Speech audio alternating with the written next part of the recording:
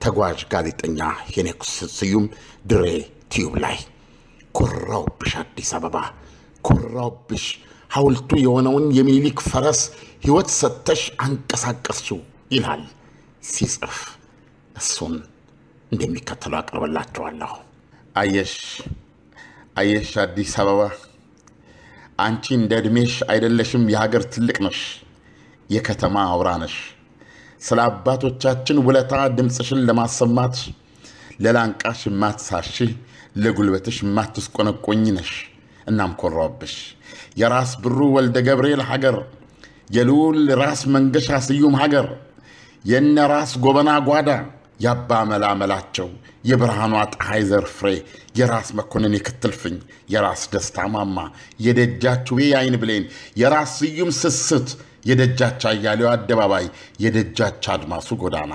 እውነት እውነት እልሻለሁ አዲስ አበባ ኮራውብሽ። እውነት እውነት እልሻለሁ አዲስ አበባ ኮራውብሽ። አንቺ ዕድሜያቸውን መቶ አራት መቶ እያሉ ሺህ ከሚቆጥሩ ከተሞች ብትበልጭ እንጂ አታንሽምና የምዬ መሸሸጊያቸው የራስ አባተ ትናንትና የራስ ዳርጌ ያደራ ቅርስ የደጃች ገረሱ ጉያ የሼህ ሆጀሌ ሌላኛ ቤት የነጆቴ መገለጫ። እውነት እልሻለሁ አዲስ አበባ ኮራውብሽ ኮራውብሽ።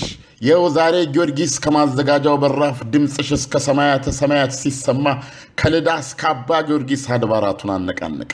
ፈረሰኛው ሐውልት መሆኑ ቀረና በውለታሽ ዜማ ሚኒሊክ ተነቃነቀ። አድዋ ለአዲስ አብዮት ከፍ ዝቅም የማይል ማህተም ነሽ። ዘርም እምነትም የማያላላው ቃል ኪዳን መሆኑ ዳግም ታየው። የአዲስ አበባ ትራፊክ የሮማ ትራፊክ ፖሊሶች የማይሰሩትን ስህተት በአደባባይሽ ላይ ቢሰራም ሕዝብሽ ሳይበተን ተዘጋ የተባለው መንገድ ለመኪና ቢከፈትም በጥቂት ሰዓታት እንደ ድሃ ቀብር ይበተናል የተባለው ክብረ በዓል ግማሽ ቀን አራዳን አደመቀ። ግማሽ ቀን አራዳን አደመቀ።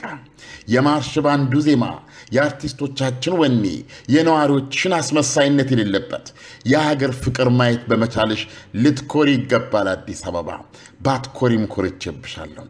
አንቺ ከአድዋ የሚነጠል ሰብዕና እንደሌለሽ ሽርብትን ከሚባልበት ጎዳናሽ ላይ ዛሬ አባቶችን የሚያወድስ መወድሰ ቅኔ እንደፈሰሰበት መስማትን የመሰለ ምን ነገር አለ? ይህንንስ ማየት ከቶ ከየት የሚገጥም ዕድል ሆኖ እናም አዲስ አበባ ታናሽ ሆነሽ እንደ ታላቅ ተከብረሽ አስከብረሽናል።